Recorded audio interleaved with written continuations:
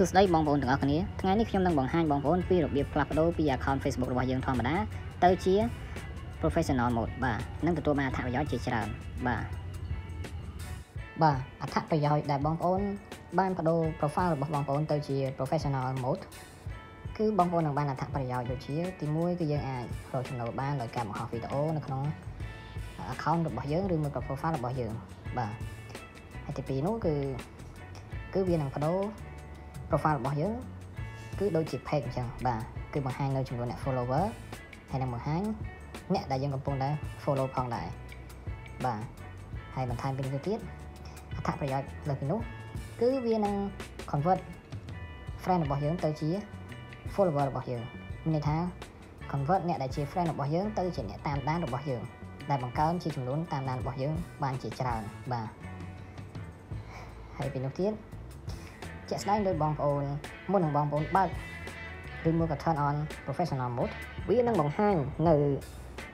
រូបភាពដូចនៅខាងលើបាទគឺនឹងបង្ហាញពីព័ត៌មាននៅចំណុចទី1ដូចជា get paid for your content បាទ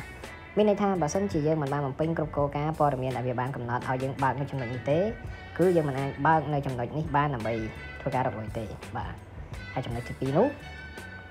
គឺ let more people follow you បាទ let more people follow you គឺចំមានន័យថារាល់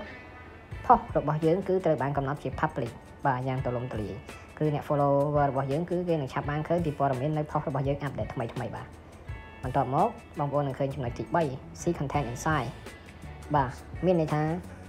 អ្នក follower របស់យើង គឺគេនឹងបានយល់ច្បាស់ពី content របស់យើងចង់និយាយពីអ្វីឬបង្ហាញអំពីអ្វីនៅក្នុងព័ត៌មានដែលយើងបានបានបង្ហាញនៅក្នុងវីដេអូដែលបានផុស ចូលទៅក្នុង profile ឬមួយក៏ account របស់យើងបាទអញ្ចឹងអ្នកដែលតាមដានរបស់យើងគឺអាចនឹងមានការកើនឡើងទៅតាមអ្វីដែលគេចង់យល់និងចង់ដឹងយ៉ាងទូលំទូលាយបាទបន្ទាប់មកទៀតបងប្អូនចូលទៅកាន់ app Facebook បាទយើងចូលទៅកាន់ app ហើយយើងអូសទៅក្រោមបន្ទាប់មកយើងចូលទៅក្នុង profile របស់យើងបាទចូលទៅក្នុង profile របស់យើងបន្ទាប់មកយើង select បន្តទៀតបាទយើងទៅរកចំណុច tray 3បាទដូចខ្ញុំបង្ហាញនេះបាទ tray 3ហើយយើងអូសទៅខាងក្រោមបាទ យើងអូសទៅខាងក្រោមពាក្យថា turn on professional mode បាទអញ្ចឹងមកកន្លែងនេះគឺយើងបានចូលមកហើយយើងឃើញមានលក្ខខណ្ឌ3បាទបាទវាមានមានពាក្យថា turn on យើងចុច select ពាក្យ turn on ទៅបាទអញ្ចឹងយើងអូសទៅក្រោមទៀតបាទយើងអូសទៅក្រោមទៀតបន្ទាប់មកយើង